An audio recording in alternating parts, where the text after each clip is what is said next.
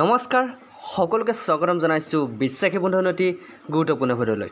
আপোনালোকে ৰিকুৱেষ্ট মৰ্মে মই আছাম ইয়াৰ বুকৰ ছিৰিজ লৈ আহিম কিন্তু আজিৰ পৰা ষ্টাৰ্ট কৰিছোঁ Assam history series Assam history series বহুতে কৈ আছে যে আছাম হিষ্ট্ৰী ছিৰিজ লাগে গতিকে আজিৰ পৰা আপোনালোকে আছাম হিষ্ট্ৰী ছিৰিজ আপোনালোকে বিশ্বাসী বন্ধু চেনেলত চাবলৈ পাব। গতিকে আছাম হিষ্ট্ৰী ছিৰিজত অনলি আছামৰ অসমৰ ইতিহাসৰ কথা থাকিব। সম্পূৰ্ণ ডিটেইলছত চেপ্টাৰ ৱাইজ মই কুৱেশ্যনবোৰ ডিছকাছ কৰিবলৈ ট্ৰাই কৰিম। গতিকে ভিডিঅ'বোৰ শেষলৈকে চাবলৈ নাপাহৰিব আৰু খুবেই কম সময় আছে আমাৰ হাতত। আপোনালোকে জানে যে আপকামিং এক্সামৰ বাবে আমি প্ৰিপেৰেশ্যন চলাই আছোঁ। আছাম হিষ্ট্ৰীৰ কুৱেশ্যন বহুত অহা দেখা যায় বিভিন্ন ধৰণৰ এক্সামত গতিকে আপোনালোকে যদি আছাম হিষ্ট্ৰী পঢ়া নাই আগতে আপোনালোকে এইকেইটা ভিডিঅ' চালে আপোনালোকে সম্পূৰ্ণ আছাম হিষ্ট্ৰী আপোনালোকে ইজিলি জানিব পাৰিব। তো বন্ধু বান্ধৱসকল পলম নকৰি আজিৰ কুৱেশ্যনবোৰ ষ্টাৰ্ট কৰিম। ষ্টাৰ্ট কৰাৰ আগতে এটা ৰিকুৱেষ্ট যদি আপোনালোকে আমাৰ বিশ্বাসী বন্ধু চেনেলত আজি প্ৰথম বা নতুন আহিছে তেনেহ'লে চেনেলটো ছাবস্ক্ৰাইব কৰি দিবলৈ নাপাৰিব কাৰণ আমাৰ বিশ্বাসী বন্ধুৰ জৰিয়তে আপোনালোকে বিভিন্ন ধৰণৰ দৰকাৰী লাগতিয়াল ভিডিঅ'সমূহ পাই থাকিব। তো বন্ধু বান্ধৱসকল আজিৰ ভিডিঅ'টোৰ প্ৰথম প্ৰশ্নটো চাওকচোন। আজিৰ প্ৰথম প্ৰশ্নটো হৈছে বুৰঞ্জী শব্দৰ অৰ্থ কি? বুৰঞ্জী শব্দৰ অৰ্থ কি? বুৰঞ্জী মানে কি বুজোঁ আমি? বুৰঞ্জী মানে হৈছে নজনা কথাৰ ভঁৰাল। মনত ৰাখিব বুৰঞ্জী মানে কি? বুৰঞ্জী মানে হৈছে নজনা কথাৰ ভঁৰাল য'ত ইতিহাস সকলোবোৰ কথা আমি জানিব পাৰোঁ। ইতিহাস হৈছে এক প্ৰকাৰ ভঁৰাল। বুৰঞ্জী হৈছে বুৰঞ্জী হৈছে এক প্ৰকাৰ ভঁৰাল।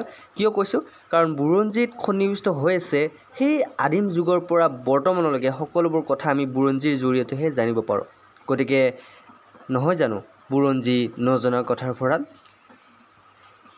তো আজি ছেকেণ্ড কুৱেশ্যনটো চাওকচোন। আজি ছেকেণ্ড কুৱেশ্যনটো হৈছে কুৰুক্ষেত্ৰ যুদ্ধত অংশগ্ৰহণ কৰা প্ৰাগ জ্যোতিষপুৰৰ ৰজাজন কোন আছিল?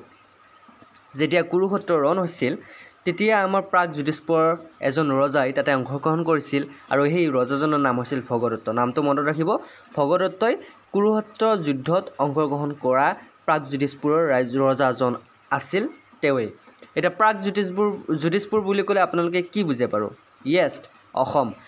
পুৰণি অসম বা কামৰূপৰ নাম আছিল প্ৰাগ জ্যোতিষপুৰ আৰু প্ৰাগ জ্যোতিষপুৰৰ সেই সময়ৰ ৰজা আছিল Bhagadatta. Next question number three Kamarupa ৰাজ্যত বৰ্মন বংশৰ প্ৰতিষ্ঠাতা কোন আছিল? আপোনালোকে জানে যে বৰ্মন বংশৰ প্ৰতিষ্ঠাতা কোন? পুষ্য বৰ্মন কিন্তু কামৰূপ ৰাজ্যত বৰ্মন বংশৰ প্ৰতিষ্ঠাতা কোন আছিল বুলি ক'লে আপোনালোকে নামটো মনত ৰাখিব। বহুতে পাহৰি যায়। নামটো হৈছে পুষ্য বৰ্মন আকৌ এবাৰ কৈছোঁ কামৰূপ ৰাজ্যত বৰ্মন বংশৰ প্ৰতিষ্ঠাতা কোনে কৰিছিল? পুষ্য বৰ্মনে কৰিছিল। Okay. Next question number four পুৰণি কামৰূপৰ চাৰিভাগ কি?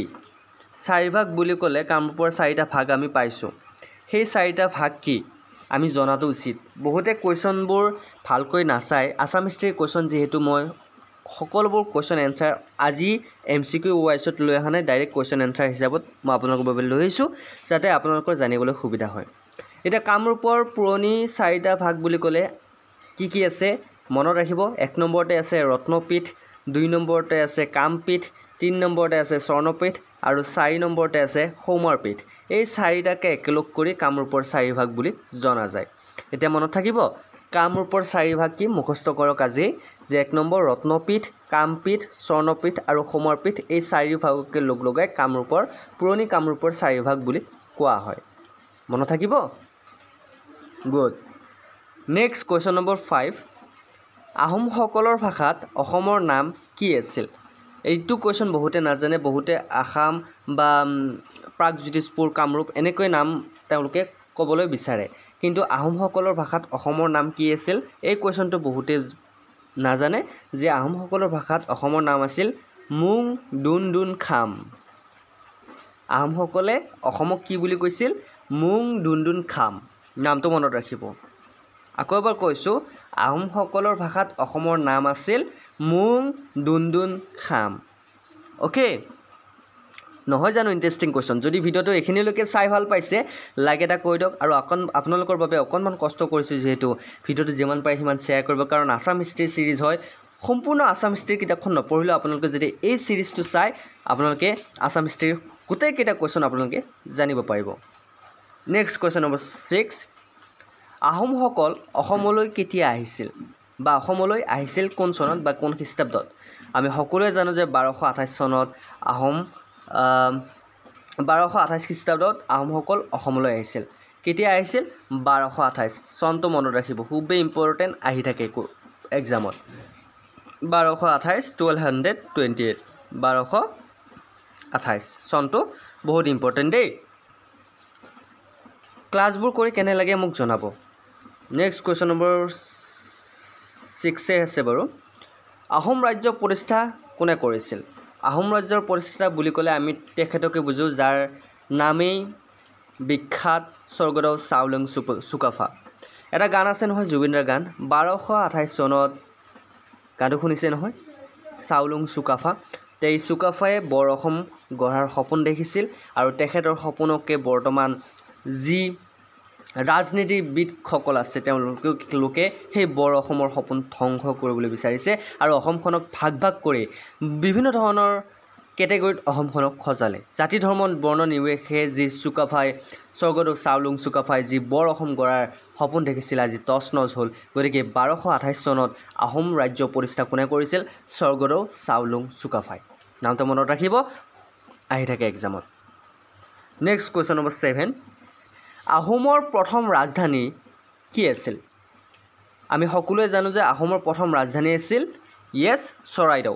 আৰু চৰাইদেউক কি নামেৰে জনা যায়? ছয় ৰাইদেউ মানে অৰ্থাৎ চৰাইদেউ। কি বুলি জনা যায়? চৰাইদেউ। অ'কে চৰাইদেউ আহোমৰ প্ৰথম ৰাজধানীখন আছিল Charaideo. Okay next question number eight. আহোমসকলৰ শ্ৰেষ্ঠ ৰজা বুলি ক'লে কাক জনা যায়?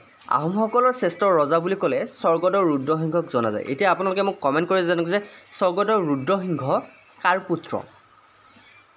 স্বৰ্গদেউ ৰুদ্ৰসিংহৰ ভাতৃৰ নাম কি বা তেখেতৰ মাতৃ বা পিতৃৰ নাম কি মোক আপোনালোকে কমেণ্ট কৰি জনাব। এইটো কুৱেশ্যন আপোনালোকৰ বাবে এৰিলোঁ। যাতে মই গম পাম যে আপোনালোকে আঠ নম্বৰ কুৱেশ্যনটোলৈ মোৰ ভিডিঅ'টো চাইছে। গতিকে আপোনালোকে যদি পাৰে এনচাৰটো দিবলৈ মোক কমেণ্ট কৰি নিশ্চয়কৈ জনাবলৈ নাপাহৰিব। অ'কে আহোমসকলৰ শ্ৰেষ্ঠ ৰজা বুলি ক'লে আমি কাক জানো? Swargadeo Rudrasingha. Next question number nine আহোমৰ শেষৰ ৰজাজন কোন আছিল? আহোমৰ শেষৰ ৰজাজন আছিল চন্দ্ৰকান্ত সিংহ।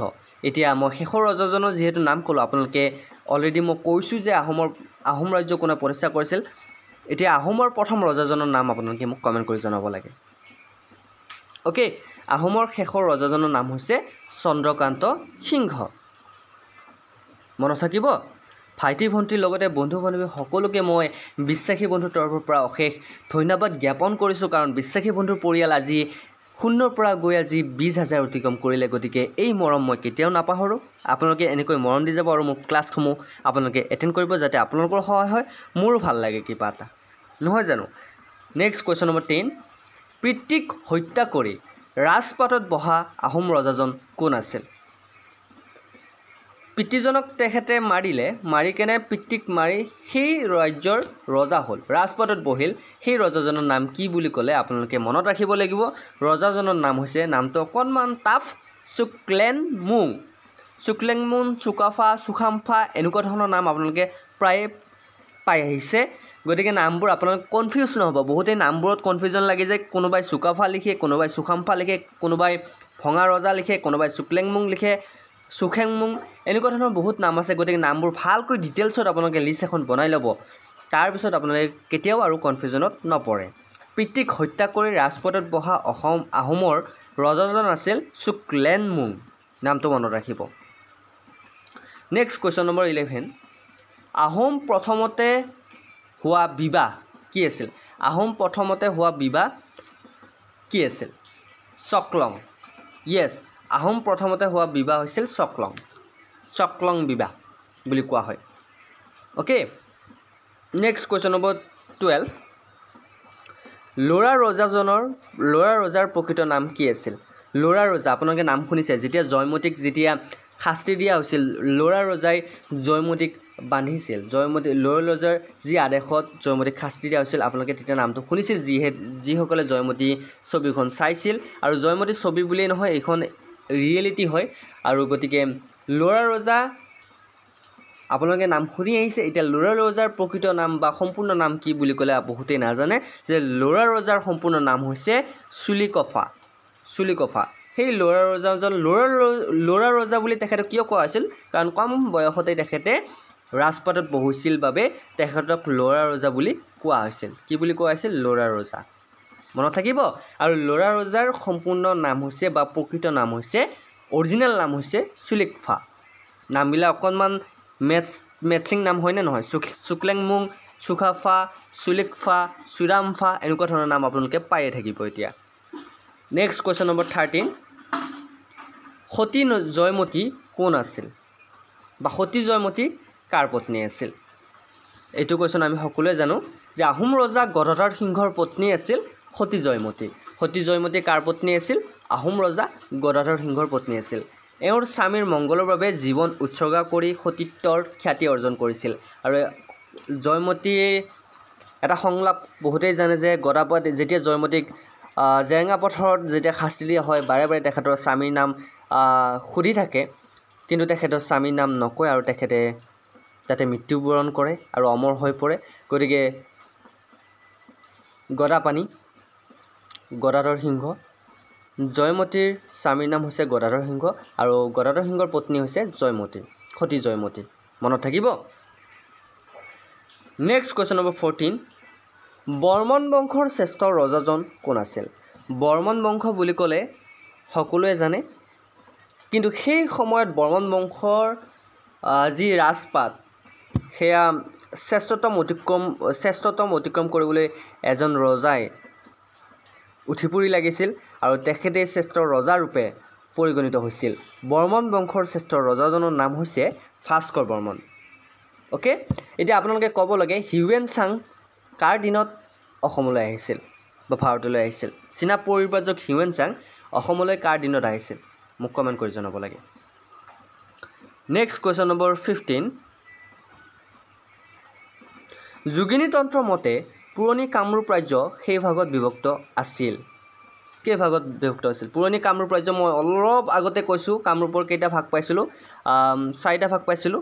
গতিকে আমি জানো যে যোগিনী তন্ত্ৰ মতে পুৰণি কামৰূপ ৰাজ্য চাৰিটা ভাগত ভাগ কৰা হৈছিল। অ'কে? কেইটা ভাগত ভাগ কৰা হৈছিল? চাৰিটা ভাগত। মনত থাকিব কুৱেশ্যনবোৰ অকণমান ভাল লাগিছেনে? নেক্সট কুৱেশ্যন নম্বৰ ছিক্সটিন কিমান চনত ভাস্কৰ বৰ্মন প্ৰাগজ্যোতিষ ৰাজ্যৰ সিংহাসন উঠে। কিমান চনত ভাস্কৰ বৰ্মনে প্ৰাগজ্যোতিষপুৰ ৰাজ্যৰ সিংহাসনত উঠে ক'ব লাগে।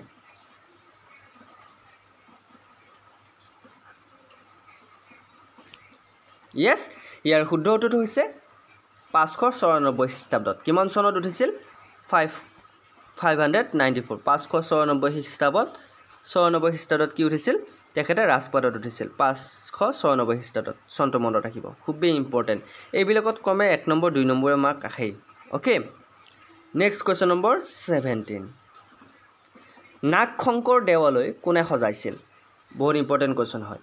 নাগ শংকৰ দেৱালয় কোনে সজাইছিল? নাগ শংকৰ দেৱালয় সজাইছিল কামৰূপৰ ৰজা নৰশংকৰে। নৰশংকৰে কি সজাইছিল? নাগ শংকৰ নামৰ এখন দেৱালয় আছে আৰু সেই দেৱালয়খন কোনে সজাইছিল? সেই দেৱালয়খন সজাইছিল নৰশংকৰে কোনে সজাইছিল? নৰশংকৰে মনত থাকিব? কামৰূপ নৰশংকৰ আকৌ কুৱেশ্যনটো এনেধৰণে আহিব পাৰে। নৰশংকৰ ক'ৰ ৰজা আছিল? নৰশংকৰ আছিল কামৰূপৰ ৰজা। এইটো কুৱেশ্যনো ভালকৈ মনত ৰাখিব। লিখি ল'ব। মই পি ডি এফবোৰ আপোনালোকে যদি বিচাৰে কুৱেশ্যন এনচাৰ মই টেলিগ্ৰাম চেনেলত দি দিম ডিছক্ৰিপশ্যনৰ লিংকটো দি দিম। আপোনালোকে তাতে জইন হৈ লৈ পি ডি এফবোৰ পাব পাৰে okay next question number eighteen Salastambha বংশৰ প্ৰথম ৰজাজন কোন আছিল? শালস্তম্ভ বংশৰ প্ৰথম ৰজাজন আছিল শালস্তম্ভ কোন আছিল? শালস্তম্ভ আকৌ এবাৰ কৈছোঁ শালস্তম্ভ বংশৰ প্ৰথম ৰজাজন কোন আছিল? শালস্তম্ভ বংশৰ প্ৰথম ৰজাজন আছিল Salastambha okay next question number nineteen শালস্তম্ভই কামৰূপৰ সিংহাসনত উঠে কিমান খ্ৰীষ্টাব্দত? আকৌ এবাৰ কৈছোঁ শালস্তম্ভই কামৰূপৰ সিংহাসনত কিমান চনত উঠিছিল? বা কিমান খ্ৰীষ্টাব্দত উঠিছিল বা তেখেতে ৰাজত্ব কৰিছিল। আমি কুৱেশ্যনটো ভালকৈ চালে আমি মন কৰিম যে ছয়শ পঞ্চাছ খ্ৰীষ্টাব্দত কি কৰিছিল? শালস্তম্ভ বংশই শালস্তম্ভই সিংহাসনত উঠিছিল। ছয়শ পঞ্চাছ খ্ৰীষ্টাব্দত ছিক্স ফিফটি মনত ৰাখিব আৰু আজিৰ আছাম হিষ্ট্ৰী পাৰ্ট ওৱানৰ ভিডিঅ'ৰ শেষৰটো কুৱেশ্যন হৈছে শালস্তম্ভ বংশৰ অন্তিম ৰজাজনৰ নাম কি আছিল? শালস্তম্ভ বংশৰ এইকেইটা বংশ বিশেষকৈ আহি থাকে। শালস্তম্ভ বংশৰ অন্তিম ৰজাজনৰ নাম আছিল ত্যাগসিংহ। কি আছিল? ত্যাগসিংহ। ত্যাগসিংহ কোন বংশৰ ৰজা আছিল বুলি কুৱেশ্যনটো এনেধৰণে আহিব পাৰে। তেতিয়াহ'লে অপশ্যনত আপোনালোক চাৰিটা যদি অপশ্যন দিয়ে আপোনালোকে কনফিউজ নহ'ব। ডাইৰেক্ট আপোনালোকে সেইটোত ৰাইট চিন দিব যিটোত থাকিব শালস্তম্ভ বংশ। অ'কে ত্যাগসিংহ কোন বংশৰ ৰজা আছিল? শালস্তম্ভ বংশ। আৰু শালস্তম্ভ বংশৰ অন্তিম ৰজাজনে হৈছে ত্যাগসিংহ। অ'কে তো বন্ধু বান্ধৱীসকল এয়া আছিল আজিৰ বিশ্বাসী বন্ধুৰ আছাম হিষ্ট্ৰীৰ পাৰ্ট ওৱান ভিডিঅ'ৰ কেইটামান গুৰুত্বপূৰ্ণ কুৱেশ্যন আশা কৰোঁ আপোনালোকে কুৱেশ্যনবোৰ চাই ভাল পালে। যদি ভাল পাইছে ভিডিঅ'টো শ্বেয়াৰ কৰিবলৈ নাপাহৰিব আৰু যদি আমাৰ বিশ্বাসী বন্ধু চেনেলত আজি প্ৰথমবাৰ নতুন আহিছে তেনেহ'লে বিশ্বাসী বন্ধু চেনেলটো ছাবস্ক্ৰাইব কৰি দিবলৈ নাপাহৰিব। কাৰণ আমাৰ বিশ্বাসী বন্ধুত আপোনালোকে বিভিন্ন ধৰণৰ আৰু লাগতিয়াল ভিডিঅ'সমূহ পাই থাকিব। তো বন্ধু বান্ধৱীসকল ভিডিঅ'টো ইমানেই আছিল। আশা কৰোঁ আপোনালোকে চাই ভাল পালে। ভাল পালে যদি আকৌ এবাৰ কৈছোঁ আমাৰ লগত জড়িত হ'বলৈ নাপাহৰিব আৰু বিশ্বাসী বন্ধুক মৰণ দিবলৈ নাপাহৰিব। আজিলৈ ইমানেই। অন্য এটা ভিডিঅ'ত আকৌ লগ পোৱাৰ প্ৰতিশ্ৰুতিৰে জয় হিন্দ। জয় আই অসম।